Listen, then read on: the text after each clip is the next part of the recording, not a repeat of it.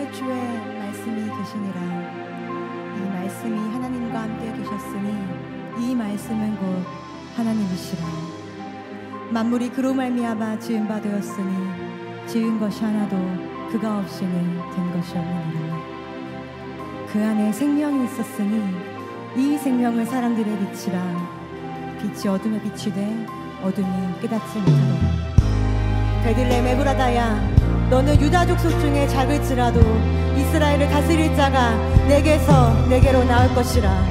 그의 근본은 상고에 영원에 있느니라. 그러므로 주께서 칭의 등조를 너에게 주실 것이라